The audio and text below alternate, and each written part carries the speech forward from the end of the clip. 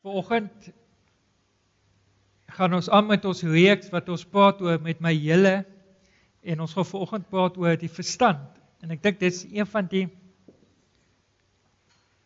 belangrike aspekte en veral in ons moderne samelewing. Want ons ons ek kom agter soos wat ek die afgelope tyd ook met mense gepraat het en gedeel het dat mense God net wil wil dien met hulle verstand. Want as 'n ding nie vir hulle uitwerk nie, dan wil hulle ook net nie meer nie of hulle hulle hulle wil God in 'n boksie sit of so iets. En nou kom Jesus en ons lees weer eens ons ehm uh, tema teks is Markus 12 vers 28 wat sê een van die skrifkenners wat hulle hoor het en neer het, het nader gekom. Toe hy sien dat Jesus hulle goed geantwoord het, vra hy hom: "Watter gebod is die belangrikste van almal?" Jesus het geantwoord: "Die eerste is: Luister Israel, die Here, die Here ons God is die enigste Here. Jy moet die Here jou God lief hê met jou hele hart, met jou hele siel, met jou hele verstand en met al jou krag. Die tweede is dit: Jy moet jou naaste lief hê soos jouself. Geen ander gebod is groter as dit nie. Die skrifkenner het vir hom gesê: "Uitstekend meester, dit is waar wat u sê dat hy, hy een is en dat daar geen ander is as hy nie. Om hom lief te hê met jou hele hart, jou hele verstand en met al jou krag en en jou naaste lief te hê soos jouself is belangriker as al die brandoffers en diereoffers." Toe Jesus sien dat hy verstandig geantwoord het, sê hy vir hom: "Jy is nie ver van die koninkryk van God nie. Niemand het dit toe meer gewaag om hom iets te vra nie." Nou ons het gepraat al oor jy die Here moet lief hê met jou hele hart en met jou hele siel en vanoggend gepraat ons met ons hele verstand. Nou as ons praat oor verstand dan dink ons dadelik aan iets soos resultate. Né? Nee. Kom ons sê Boetie kom by die huis na hy eksamen geskryf het met sy rapport en hy al sy vakke gekom het dan sê hy o maar hy het soveel verstand hy het alles geërf van pappa af Nee. Of of in ons kultuur praat ons baie keer oor ehm um, ons sê sy het op so, hierdie manier opgetree en sy het dit alles gedoen. So sy's verstandig omdat sy hierdie sekere goed gedoen het. Maar weet julle wat? Dit het niks met verstand te doen nie. Want jy sien ons plaas mense in boksies. Ons ons ons verklaar hulle intelligensie vermoë oor in in in 'n in 'n in 'n kompartement van verstand. Einstein het die volgende gesê: Everybody is a genius. But if you judge a fish by its ability to climb a tree, it will live its whole life believing that is stupid. Wat jy sien, Einstein se onderwyser het hom in 'n boksie gesit. Want Einstein se probleem was en ek weet nie of julle dit weet nie, hy was disleksies. So dadelik het sy onderwyser vir hom gesê, "Einstein, jy is stupid. Jy gaan dit nie maak nie." En wie stem saam vandag dat Einstein in sy vakgebied 'n genius was. sien julle waarna toe ek besig is om te praat nou? Maar het jy al die gesegde gehoor wat sê wat jy dink, so is jy. Want jy sien, dit wat jy dink, dit is waarna toe jy jou lewe inrig en bestuur. Want selfs of dit goed of sleg is, bestuur jy volgens jou dagtes wat in jou is, jou lewe. Ja, jou emosie. Jou jou jou jou manier van dink bepaal ook hoe jou emosie gaan wees. Dit is daar in ons gedagtes, in ons in ons denke waar ons baie keer besluite maak van ons lewens. En ek wil jou vat na Psalms toe. Psalm 16 vers 7 tot 11 gaan ons vanoggend lees. Is my teksgedeelte vir hierdie oggend. Hy sê daarso ek sal die Here prys wat my raad gegee het. Ja, snags spoor my gewete my aan. Ek hou die Here altyd voor oë omdat hy aan my regterkant is, sal ek nie struikel nie. Daarom is my hart bly en juig my binneste. Ja, my liggaam bly veilig. Want U sal my lewe nie aan die dode dode ryk oorlewe nie.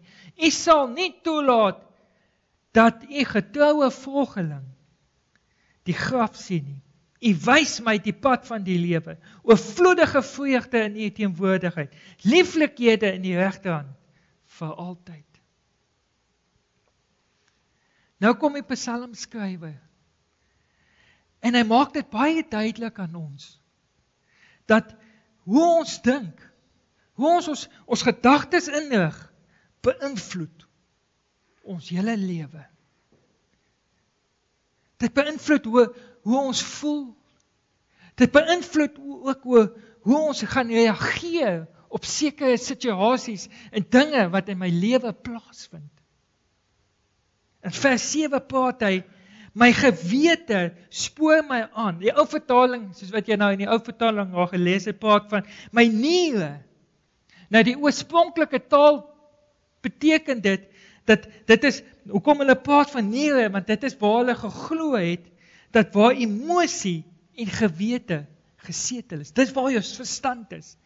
En ek weet nie of hulle pyn in die niere gekry het as hulle gedink het of ietsie, maar hulle het dit geglo. Maar nou kom vers 8. Hou sê hy my gewete is ge, is gerig op U. In die Engels sê hy dit so mooi. Hy sê my mind is set upon you.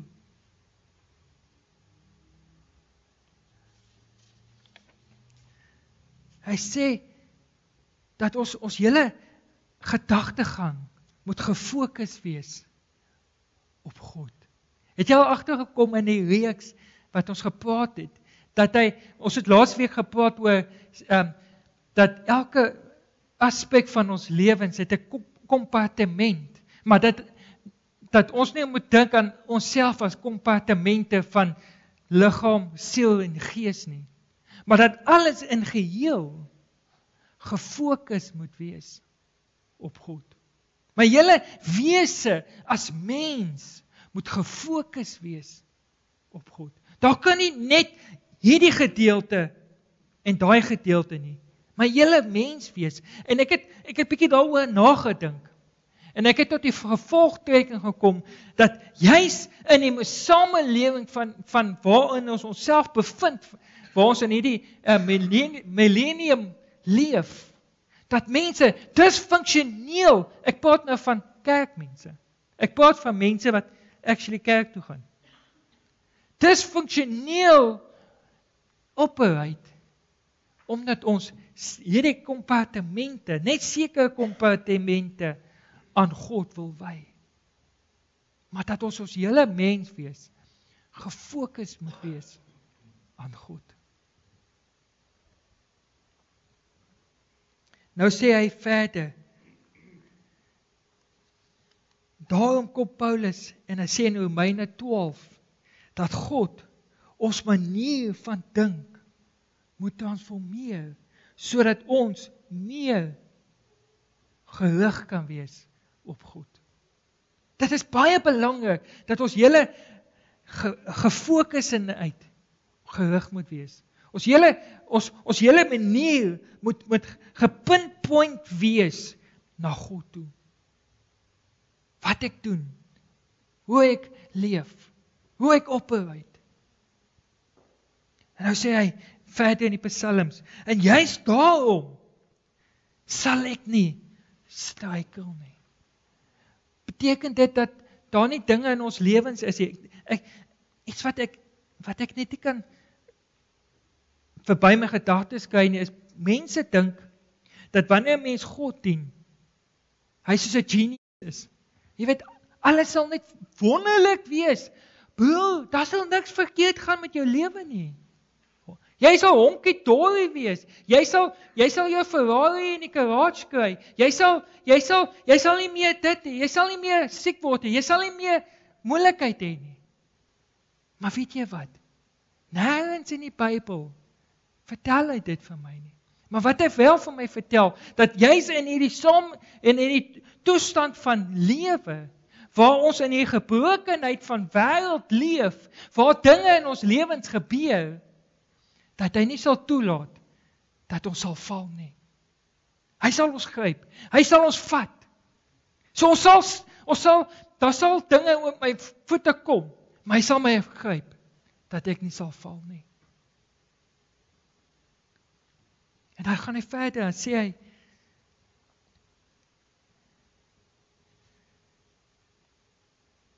Hy gee 'n ander soort beleidskap saam met dit saam met ons. Dit is nie 'n wêreldse soort van blydskap nie. Dis nie 'n tydelike ding omdat ek nou in hierdie situasie nou sê ek bly en dan sê ek weer in hierdie ander situasie nou sê ek nou sê ek jy weet Jy weet, baie keer dink ek baie keer werk hormone te oor oor tyd in sekere mense se lewens in daardie opsig. Want in 'n oomblik is ek so bly in die Here en ek wil hom dien. Woe, haleluja, ek kan net nie beter nie. Maar môre môre sal iets in jou lewe gebeur. O, oh, ek daar so swaar aan my las. So swaar en so gaan ons deur die lewe. En maar môre as ek weer En weet jy wat gebeur in hierdie proses? Die ou in die wêreld kom en dan sê hy: "Wow, Waar pas jou God dan nou in die prentjie? Is jou God nie veronderstel om 'n ewigdurende um, God te wees wat so is nie? Maar die een dag is hy hier onder, volgende dag is hy bo en in tussenin. Weet julle wat ek was eendag in 'n gemeente gewees voordat ons na hier kant toe gekom het. En van julle was saam met my in daai gemeente. Was daar mense gewees En elke keer, ek kan nie eens meer onthou wie hulle was nie. Dis nie een van julle nie, hoor. En elke Sondag wat ek vir hulle gevra het, hoe gaan dit? Het hulle vir my gesê, "Ag, pastoor, so tussen die bome en die pas." En eendag toe gaan ek na hom toe, toe sê ek vir die persoon toe en weer vir my sê, "Ag, pastoor, so tussen die bome en die pas." Toe sê ek, "Jy oppas, want dit is waar al die goggas is." En dit is hoe ons baie keer ophou in hierdie lewe. So tussen die bome en die pas en ons besef nie al die goggas wat ons lewens verwoes nie.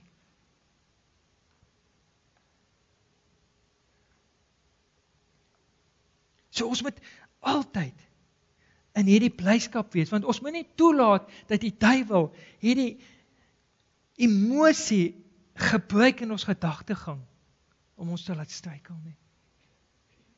Want emosie laat ek vanmôre iets vir julle leer is is iets wat jy nie op kan staat maak nie. Wat emosie is onvoorspelbaar in jou lewe. Jy kan nie reageer op jou emosie nie.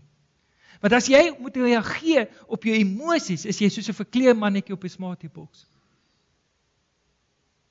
En dis hoe ons baie keer in hierdie samelewing is. Ons reageer so maklik. Ek ek tree op volgens wat ek voel is verkeerd. Jy moet optree volgens wat God in jou lewe reeds geplaas het.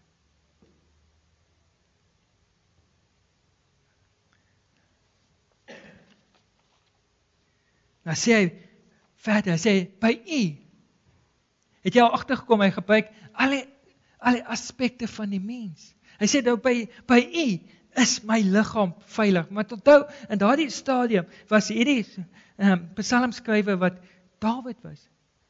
Was sy vyande teen hom. Hy sê my Here, by U is my vluggaam veilig. U sal nie toelaat dat ek onnodig sal doodgemaak word nie. Want U is in beheer. Vers 11 sê dit, want omdat my gedagtes, my mind op U is, wys dit die pad van die lewe. Wanneer laas was jy op 'n plek waar jy verseker kan sê ek weet wat die lewe is? Maar as jy so met mense gesels, dan dan dan dan's mense so confused oor die lewe. Ek praat van mense in die kerk. Is dit omdat ons dalk um, nie ge, ons gedagtegang gerig is op die op die Here nie? Is dit nie dalk omdat ons regtig waar in gewortel is in sy gedagtegang nie? Maar die groot vraag vir môre is hoe rig ek my gewete, my verstand op God? En ek het twee punte wat ek vanmôre met julle wil deel. En dit is: Jeseen, maak Jesus jou onderwyser. Laat toe dat sy boodskap wat hy reeds vir ons gegee het, jou transformeer. Laat toe dat deur sy boodskap en voorbeeld, want hy het hier na die aarde toe gekom as 'n as 'n voorbeeld vir my en vir jou. Maak toe dat dit jou hele denkwyse van want jy sien toe hy in hierdie wêreld ingekom het, eerste ding wat hy begin gesels het met die Israeliete was oor die koninkryk van God. En dit het gemaak dat daar 'n nuwe idee in hulle gedagtegang ingekom het. 'n Vas um, openbaring in hulle lewe. So jy moet toelaat dat Jesus Christus in jou lewe kom sodat daar nuwe idees van hom in jou lewe kan kom sodat jy begin anders te dink. Want sodra jy begin anders te dink en jou gedagtes verander ten goeie, kan jy dan verander word na 'n beter mens toe. Dan die tweede punt. Hou hom altyd in gedagte. Ek wil vir jou 'n vraag vra vanmôre. Waarin dink jy die meeste in die dag? Jy hoef nie te antwoord nou nie, hoor. Jy kan vir jouself antwoord. Maar waaraan dink jy die meeste in die dag? Want jy sien, ons moet ons gedagtes vul met hom. En ons moet hom deel maak van ons lewens. Byvoorbeeld, as jy iemand in my voorbeeld waar ek met mense, as ek iemand gaan spreek, dan moet ek bid en sê jy wees deel van hierdie gesprek. Wanneer daar besluite geneem word, belangrike besluite wat jy moet neem in hierdie week, sê Here, wees deel van hierdie besluitneming. 'n Goeie voorbeeld van dit is hoe God in ons hele lewe moet um, deel wees is. Julle sien al die almal hier hoe bakkie. Nou ja, as ek hier hoe bakkie ry, nee hoe bakkie het nie 'n kragstuur nie. Jy weet so dit dis 'n dis 'n ding om met hom te ry en so aan, jy weet jy 'n bietjie ekstra elbow elbow elbow grease nodig. Daar's nou, Maar as ek nou my ander kar ry met die kragstuur, is die ry 'n hele ander ondervinding. Maar weet julle wat is die geheim? Dis dieselfde pad. Dis dieselfde roetes, dis dieselfde flikker ligte wat moet aangesit word. Maar die ry genot is soveel anderste. En net so kom God in ons lewensjourney in. Waar ons op 'n pad is. Maar as jy met God se krag dit doen, maak dit die rygenot van jou lewensjourney soveel anderste. So jy moet toelaat dat God se krag jou lewe deel word sodat jou ry journey anderste kan wees. En ek wil afsluit met hierdie gedagte.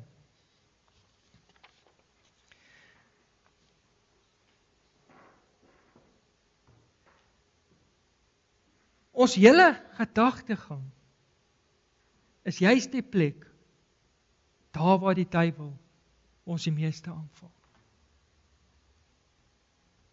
So ons moet op 'n plek wees waar ons ons gedagtes kan hê want op God gerig want as jy jou mindset reg het en geset het op God kan jy oorwin. Maar as hy jou daaroor wen het hy die grootste uh, uh, um oorlog alreeds in jou lewe oorwin.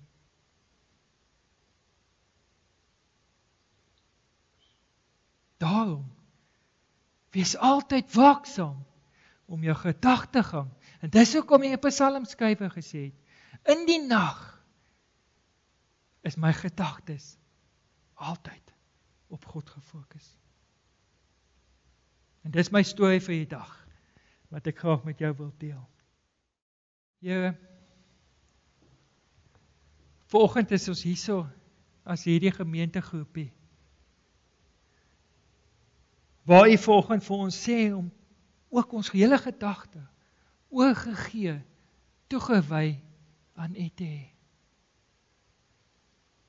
Wil ek kom bid vir oggend Here dat U werklik waar Jesus Christus ons deel sal maak van ons manier van dink en manier van besluitneming. Help ons Here met ons gedagtes. Hoog ons gedagtes op die regte goed. Maak ons vry van al hierdie verkeerde gedagtes in ons lewens.